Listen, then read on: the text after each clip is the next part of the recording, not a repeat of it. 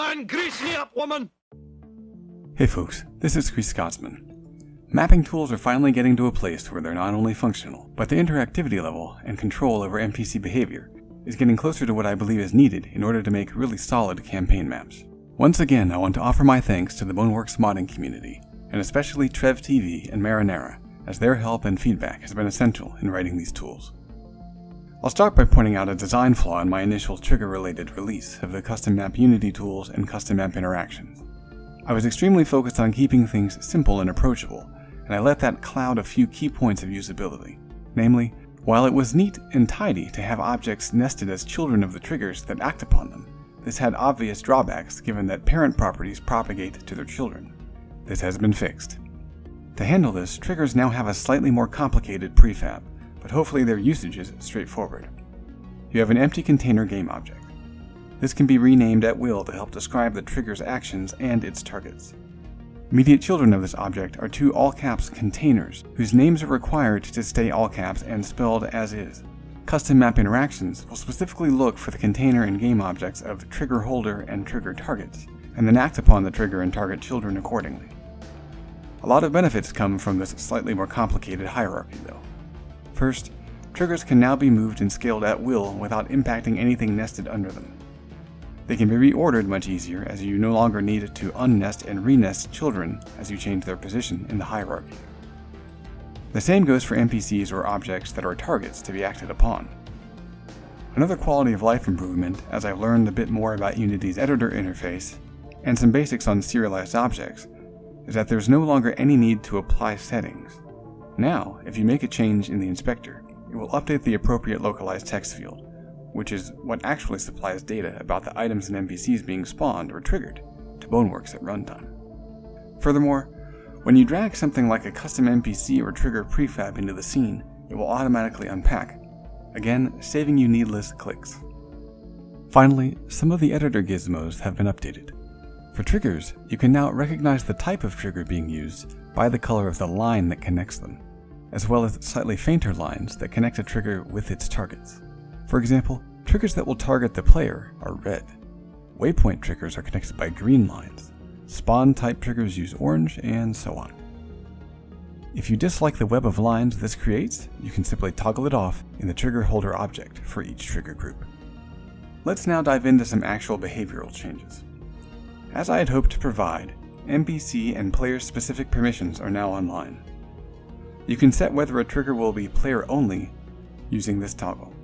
You can also set a trigger to only respond to the object or NPC that collided with it, or leave it at the default behavior, which activates all of a trigger's targets the moment it is activated. To demonstrate the difference, watch as these NPCs travel around these waypoints. Notice that as soon as any one of the NPCs hits a trigger, marked by these yellow squares in the ground, all of the NPCs that are part of this waypoint chain will immediately start walking to whatever destination was just activated. This activate all targets behavior can be really useful. For example, when you're spawning in groups of NPCs as soon as the player enters an area, or let's say that you wanted to trigger the movement of multiple objects, like an alarm system being set off by the player. Note that spawned NPCs using the move to function can have any object as a destination. However, if their destination happens to be a trigger, the spawned NPCs will now automatically adopt the behavior of the destination trigger.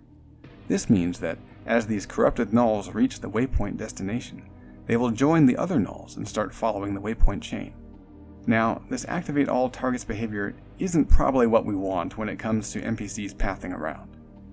Instead, what makes a bit more sense would be to have only the object or NPC that collides with the trigger be activated by it. This way, NPCs that are already navigating the waypoint chain will continue on their loop uninterrupted, even though other triggers are being activated, like so. I tossed TrevTV some changes to custom map item spawner that should provide proper behavior when spawning using triggers. So now, if an NPC is set to be deactivated in the inspector, they will not spawn when the map loads, allowing them to be spawned later using triggers. We've already seen this with the corrupted nulls, We'll see it again in a combat scenario shortly. Included in this update to custom map interactions are the rigid body movers that I demoed before in various ways, either in the pathing damage area, void balls, or in the forged ski ball test. Those videos might be useful to see if you're unfamiliar with those references. The player damaging rigid body movers are included as a prefab that you're welcome to modify as needed. I haven't put together a custom interface for them yet, but if there's a desire for it, I can do so. These movers don't have to be spheres. Removing the damage component and turning the rigid body into a cube-like shape creates simple elevators and moving platforms. However, as the horizontal platform moves, the player must walk along with it or they'll slide off, regardless of the friction value of the surface. I have a potential fix for this, but it needs some more testing, there's still plenty of uses for a rigid body for which you can lay down a path. There are also speed settings and a wait time parameter that defines how long the mover should wait at a waypoint before moving on. Now, Boneworks is a game all about physics, so I spent a lot of time trying to give mappers an assortment of ways to apply forces to objects, NPCs, and the player. As a result, I've made jump pads. Of course, giving the player a little boost is nice, but it's much more fun to reach new heights.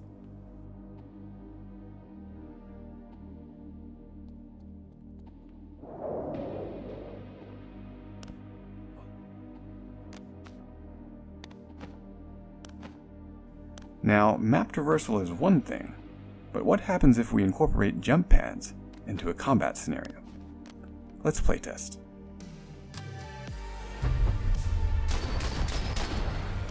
Whoops. Forgot to set player only on the spawn trigger, so everything spawned in at once. Let's fix that real quick.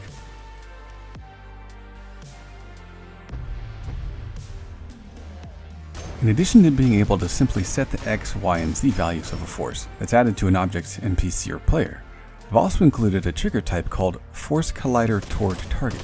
These are very handy if you don't want to try to figure out the correct vector values for a certain direction, and say launch the player towards a particular target game object. The target will handle the force direction. Then you just need to set the magnitude. I've also included a y-axis offset, which is particularly handy for allowing you to place the target object on the floor, but still have a nice arc to the jump path.